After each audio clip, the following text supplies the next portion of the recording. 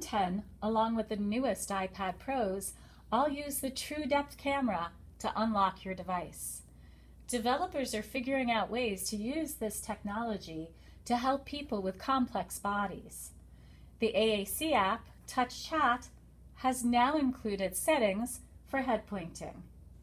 So first you need to go to the menu button on the orange bar at the right hand side, touch that, go to settings, scroll down until you see enable head pointing. Touch that to enable and then you're going to need to choose a trigger action.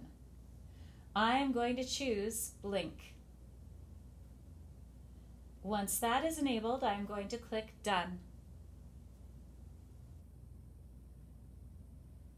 There are also other settings there where you can choose your cursor shape or the speed at which you track, but now you can Drink. see when I focus on the screen, juice, water, I can that, say anything I want to, which is kind of. Great. You can do it.